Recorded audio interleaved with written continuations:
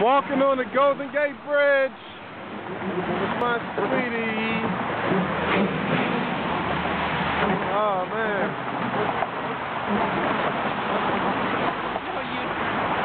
Look no U-turns. No U-turns in our vicinity.